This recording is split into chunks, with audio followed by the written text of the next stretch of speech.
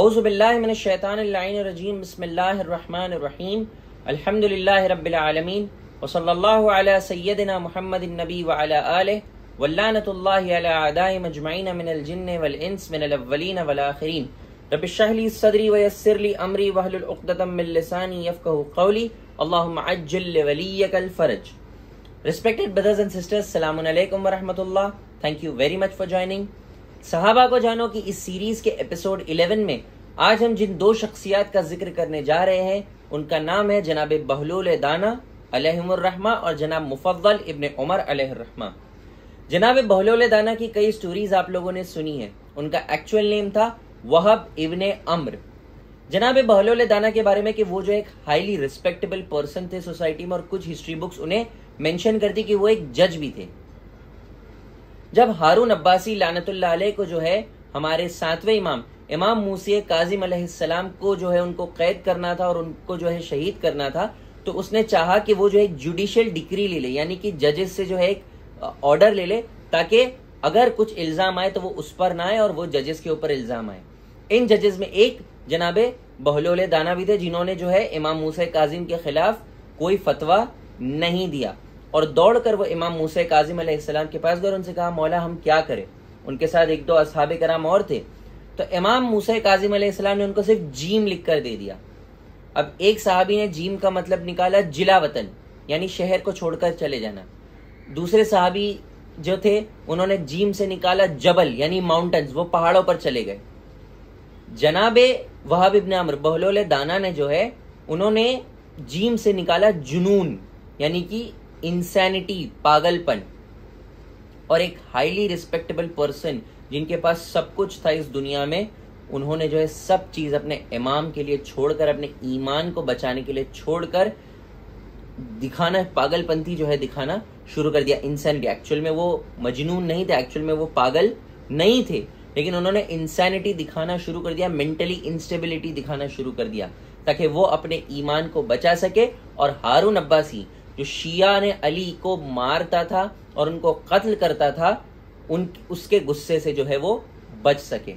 और जनाब बहलोल की कई सारी स्टोरीज है कि वो किस तरह हारून अब्बासी के सामने मजाकिया तौर पे जोक्स में जो है हारून अब्बासी को जो है उसकी तहकीर करते थे, उसको जो है डांटते थे, उसको जो है याद दिलाते थे कि ये जो वो कुर्सी पर बैठा है, वो उसका हक नहीं एक एक छोटी सी स्टोरी ये है कि एक बार जनाब बहलोल जाके जो है बादशाह की कुर्सी पर बैठ गए।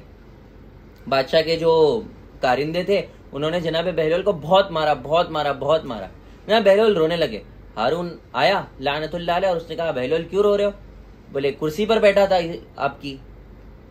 तो बोले, अरे, इतना मत रो।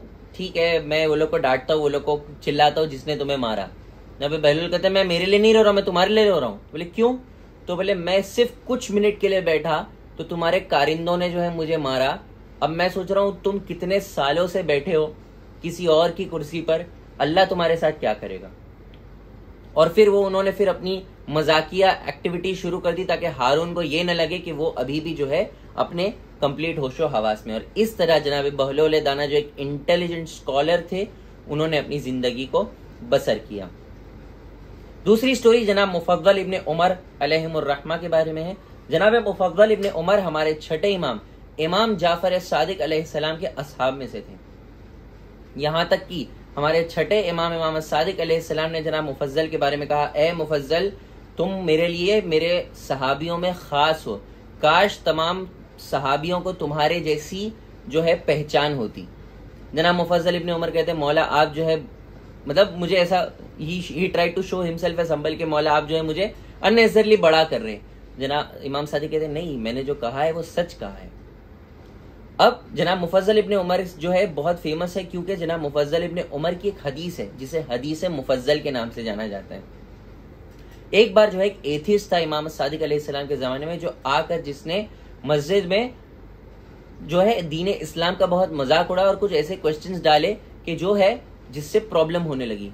जनाब मुफजल इबन उमर दौड़कर इमाम सादिक के पास गए उनसे क्वेश्चन पूछे और क्वेश्चन रिलेटेड टू क्रिएशन इंसान की खिलकत, जानवरों की खिलकत, पहाड़ की खिलकत एनवायरनमेंट की खिलकत, जो भी और इन सबसे रिलेटेड चीज़ें प्लैनेट्स अर्थ मून ये सब चीज़ें, कई सारी चीज़ें जो है इंटरेस्टिंग चीज़ें, हदीस मुफजल में इमाम सादिक अलैहिस्सलाम ने बयान की है। किसी दिन मौके पर आप लोगों के सामने हदीस मुफजल भी ज़रूर पेश करूँगा। Thank you very much for joining इंशाल्लाह कल फिर मुलाकात करेंगे एक दो नए असहाब की स्टोरी के साथ। वाखिर दावाना अल्हम्दुलिल्लाह रब्बिल